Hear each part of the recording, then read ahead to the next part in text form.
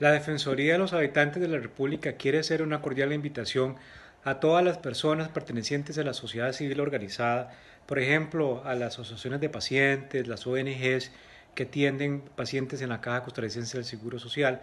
para que presenten sus candidaturas a un concurso muy importante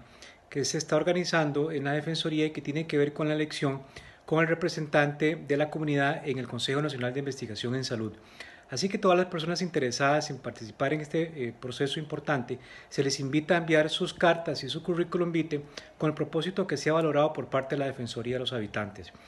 El Consejo Nacional de Investigación en Salud pertenece al Ministerio de Salud y requiere la representación de un miembro de la comunidad, así que la participación de, de ustedes será muy importante al respecto.